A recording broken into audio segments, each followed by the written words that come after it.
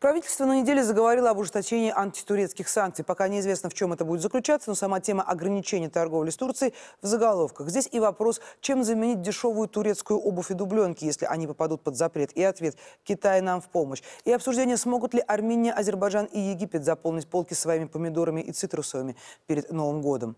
Но при этом оживился рыбный рынок. По крайней мере, Росрыболовство заявило, если косяки Сибаса и Дорады из Турции не приплывут, это поможет тем, кто ловит треску, мента и палтус вкус привычный с детства. Мой коллега Евгений Лямин разбирался, а что мешало до сих пор ловиться рыбки большой и маленькой? Ведь на прилавках даже самые простые окуньки дороже мяса.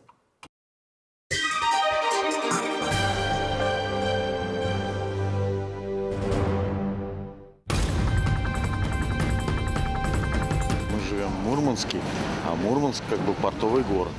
Это получается, что мы за рыбу платим так. Норвегии она стоит копейки, а здесь очень дорого. Горбуша стоила в прошлом году 130, в этом году 175. Это самая дешевая, наверное. 195. Даже 195, да. Парадокс жизни. Живем на рыбе, а рыба стоит э, гораздо дороже. На прилавках рыба словно золотая, правда не исполняет, а отбивает желание покупать. Даже здесь, в портовых городах, даже здесь, на рынках, где, как водится, подешевле. Продавцы поясняют, она уже успела позолотить своей чешуей не одну руку, а порядка десяти. Она только в море будет два-три раза перепродается. Вы представляете, сколько, с куда она только не идет. Она идет и на Японию, правильно? Сейчас около Кольского залива, и всегда он был полон, залив, был полон судов. Стояли на северном рейде, южном, в рыбном порту. Сейчас, к сожалению, судов стало намного меньше. И одна из причин – это условия обработки судов в порту, работа контролирующих органов и время, которое мы тратим, рыбаки, здесь, в российском порту, как правило, в три- раза выше, чем, допустим, у наших соседей в Норвегии. Мурманская в Норвегию, дальневосточная в Китай, Японию и Южную Корею. В иностранных портах нет административных барьеров, построена вся необходимая инфраструктура. В России порой и отгружать некуда. Кроме того, пограничный досмотр, портовые сборы, федеральные и региональные ветеринары. Эксперты называют цифру. За ветеринарные справки все рыбаки России в год платят порядка 9 миллиардов рублей. Больше половины российской рыбы уходит э, на экспорт. И вот эти экспортные цены, цены международных рынков, международных аукционов э, на нашу очень э, востребованную, качественную российскую рыбу, они ее поднимают и тянут внутренние цены тоже, соответственно, вверх. Наверное, из всего здесь можно обратить внимание только на треску, но это 295 рублей за стейк. Совсем недавно это была цена семги и форели. Красная рыба теперь только в красный день календаря стала исключительно праздничной. Курица или рыба? Нередко при походе в магазин, говорит хозяйка, этот вопрос сразу снимается. Конечно, птица. Спад потребления рыбы заметили и на кухнях общепитов. Теперь уже точно, четверг рыбным днем не сделаешь. Слишком роскошно. люди, ну, сейчас цена, их пугает цена.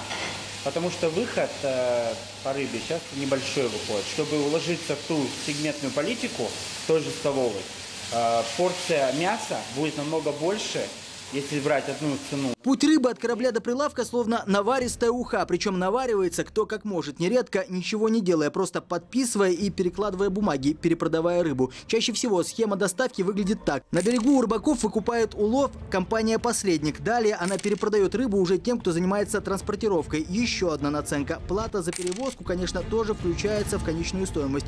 После прибытия в Москву товар разгружают на базе. Здесь появляются другие крупные оптовики. Они скупают рыбу, делают свою надбавку и продают мелким фирмам. Таких может быть 2, 3, 4. Они перепродают рыбу друг другу по цепочке и ловят свою прибыль в мутной воде. Таким образом, рыба уже автомобилями развозится по городам. Здесь снова транспортная наценка. Фуры идут в обратном направлении. Рязань, Нижний Новгород, Казань. Далее магазины, у них, безусловно, тоже торговая надбавка. И на прилавок попадает рыба в 3, 4, а то и 5 раз дороже, чем та, которую продавали рыбаки. В этом году уровень перевозки равен 2014 году. Уровень одинаковый, но цена меняется. Средняя стоимость перевозки 1 килограмма рыбы 6-8 рублей. Но когда начинается путина красной рыбы, август, сентябрь, октябрь, цена взлетает в два раза. Если это дорогая рыба, скажем, нерка, то перевозка получается 5-6% от стоимости. А вот для той же народной рыбы селедки цена перевозки доходит и до 30%, говорят участники рынка. Как только это скоропорт, он тут же берется с него дополнительная плата за большую скорость якобы, и Он с Дальнего Востока до Москвы идет 40-футовый контейнер стоимостью 180 тысяч рублей. Китайские ботинки едут за 80 тысяч рублей в этом же поезде. Наболевший вопрос был озвучен в октябре на заседании Президиума Госсовета, посвященного рыбной отрасли. Это заседание большинство участников рынка вообще назвали историческим. Были подняты проблемы, которые не решались годами. РЖД уже пообещала проработать вопрос и, что называется, дать зеленый свет рыбе. Выравнивание тарифа, изменение правил перевозки. Кроме того, еще одна серьезная проблема – подвижной состав. Рефрижераторные вагоны производились в Германии и Брянске. И то, и другое предприятие давно закрыты. Статистика такова, что из строя выходят до полутора тысяч вагонов ежегодно. И к 2019 году не останется ни одного. На смену им приходят контейнеры, но тоже импортные. После Госсовета Уралвагонзавод получил техзадание. Там уже пообещали начать производство специальных контейнеров к 2017 -му. Но важно не только на чем вести, а главный вопрос – откуда и куда. Основная, конечно, задача – это вот создание инфраструктуры, причем инфраструктуры именно как товаропроводящей системы. То есть это должен быть э, большой логистический центр, оптово-распределительный центр. Создание вот этой всей логистической цепочки, ее оптимизация, она позволит сократить и сроки доставки, позволит сократить стоимость, позволит повысить качество. Оптово-распределительные центры и география такова. Владивосток, Новосибирск, Москва, строительство центров федерального значения. Здесь рыба будет перерабатываться, продаваться оптовикам и храниться. В Мурманске предполагается использовать инфраструктуру нынешнего порта. В крупных городах по всей России появятся небольшие региональные оптово-распределительные базы. И при таком взаимодействии удастся исключить ненужных посредников.